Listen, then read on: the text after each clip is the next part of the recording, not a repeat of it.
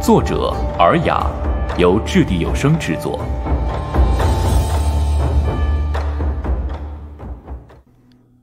第八十集，桃核咒。公孙和小四子相视一笑，就听到喵一声，两人仰脸往墙头一看，吓了一跳，就见围墙上、假山上、树干上趴了好些猫咪。各色品种都有，懒洋洋的，有的在打盹儿，有的在摇尾巴。嗯，好多猫啊！唉，我也不知道是不是天生招猫了，反正通常我住哪儿都会引过来几只猫的。本来呢只有两三只的，不过厨房大娘和那些小丫鬟们都喜欢拿吃的来喂了，可能那些猫们出门一传十，十传百了吧？你看引来这么多呢。说着，展昭还不忘提醒小四子：“小丫鬟们都会去给猫咪洗澡的，不过呢，还是少抱，小心啊，招虫子。”“哈，不怕，带些香草，什么虫子都不沾。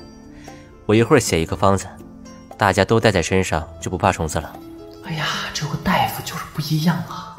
公孙祝开封实在太好了，这自带神医呢。”比皇宫自带御医还气派。整个开封府给公孙的感觉就是大气简朴，但不简陋，雅致干净，有条不紊，还有浓浓的人情味儿。公孙想象中的开封府应该是冰冷冷的衙门，所以之前他一直不明白展昭这么开朗一个人为什么能住得下，原来远不是那么回事儿。除了前边的衙门大堂，后边就是一个大宅子，可见平日包大人很和气，而且那些丫鬟们活泼的厉害，但是又很有礼貌。真不愧宰相之才，治国齐家平天下，样样一流。本公孙粗略收拾了一下行李，回头就见小四子不见了，院子里传来叽叽喳喳的声音。公孙走到门口一看，就见十几个花枝招展的小丫鬟围成圈，正端详着被圈在当中的小四子呢。小四子长这么大，也没一下子见那么多女人，手里捧了一大捧丫鬟们给他的点心果子，样子还挺腼腆。公孙哭笑不得，看来他就算再忙，小四子也有人陪着玩了。晌午刚过，赵普就派人来请了，说在王爷府对面的帝居楼吃饭。听名字那么欠揍，帝居楼其实就是个名儿，因为对着王府才得来的。啊，那那儿的螃蟹好。公孙想笑，展昭不只是大侠，还是吃货，貌似哪儿有什么好吃，他最清楚。不过也奇怪，他这么个吃法倒是也不见胖，莫非是太好动的缘故？这次包拯他们出巡，破获了几件大案子，回了开封后又无积案，于是众人都非常轻松。不过，包大人似乎有心事儿，也不和展昭他们去吃饭了，匆匆吃了两口东西，约了庞太师找八王爷去了，还带上了佟大宝。估计跟桃花娘娘那案子有关系。展昭觉得这案子扯得不像话，也不想多过问。到了帝居楼门口，展昭先扫了一圈，没有白马。众人上楼，三楼的雅间里头，赵普拖着脸，打着哈欠，无精打采的。展昭和公孙小四子进门，看到这情景，有些纳闷。舅舅，你怎么了？还是外头好啊，清静啊。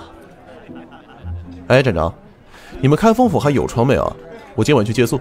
你那么大的王府不住，你住开封去干嘛？被皇太妃念叨的啊！展昭了然，自古多大的英雄都怕娘啊。舅舅，你娘亲干嘛念叨你？还不就是那几句。赶紧成亲，赶紧生娃，赶紧有个人样。九九现在没有人样吗？这天底下有一个敌人，永远没法战胜。是谁？娘啊，打不过躲得过。你都多大了，成家是应该的事情，躲什么？不孝。九九想嫁人了。欧阳少征一口茶喷出来，展昭认真研究墙上的菜谱，便不时朝窗外的大马路望一眼。白玉堂还不来？赵普好笑的看着小四子，公孙伸手捏小四子的脸。你又来了，男的是娶，女的才是嫁呢。嗯。哦，九舅要娶谁？没一个看得上眼的。哎，明天吃饭的时候提亲的铁定很多，你怎么应付？哎呀，不去行不行啊？明天去哪儿吃饭？啊，对了，明天皇上会请文武百官饮宴，顺便接待来使，大家都要去的。公孙点点头，想着应该没自己什么事儿。不过赵普被逼婚，应该还蛮有趣的。赵普拿起杯子，本想喝口水，却看到公孙身边的小四子正斜着眼睛看着他，眉间还拧了个小疙瘩，似乎是有什么不满。赵普觉得有趣儿，就低头想问问他，不料小四子一扭脸不理赵普了。赵普纳闷，盯着他看，小四子嘴巴撅着，明显生赵普的气。怎么得罪他了？小四子在气什么？气赵普那句“没一个看得上眼的”。好饿啊！能不能开饭啊？白玉堂还没来啊？没人通知他吗？一早就送信去了。子影从屋顶跳了下来，身后跟着折影，两人似乎是在屋顶上望了一会儿了。是不是有什么事情耽搁了？不会吧？他要是不来，应该会派人送个信儿什么的。该不会……怎么了？赵普见展昭突然严肃起来，想着别是出了什么事儿。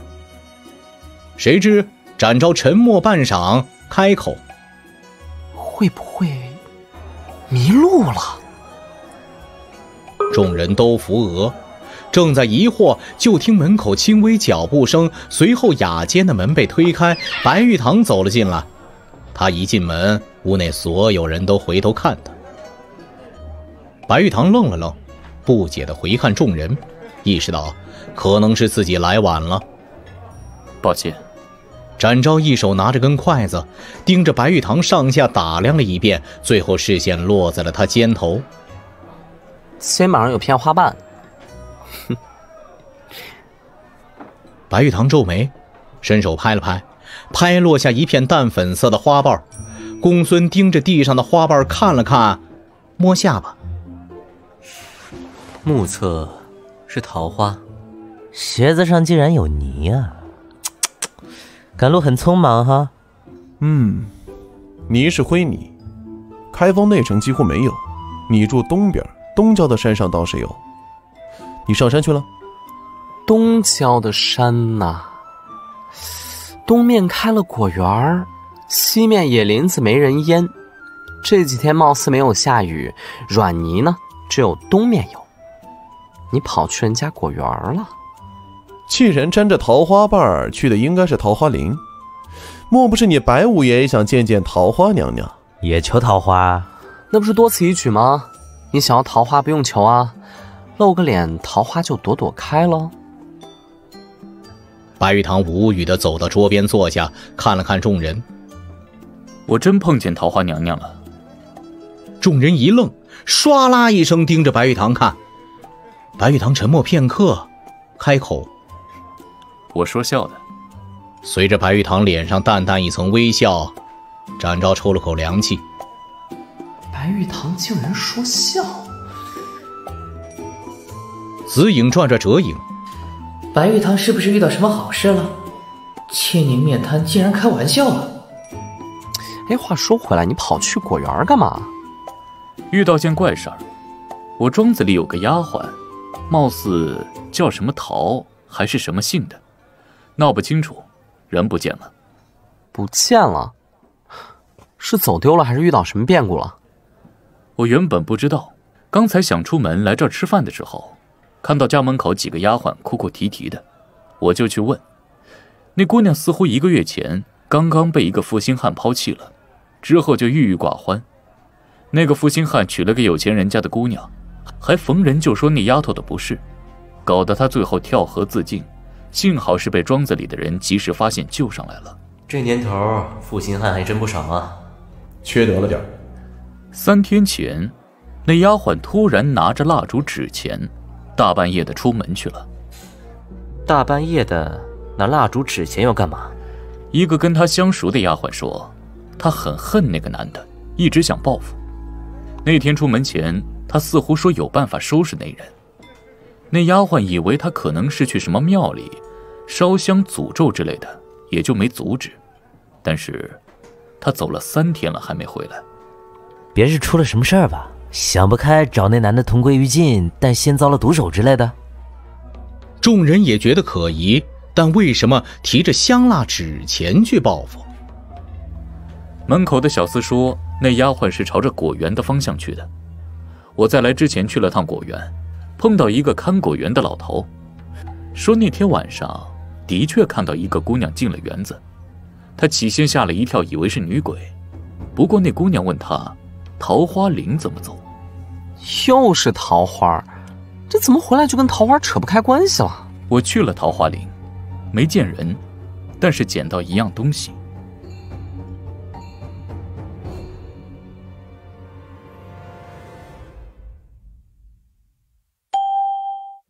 掷地有声，专注精品声音制作。你最近忙什么呢？怎么都不见人影啊？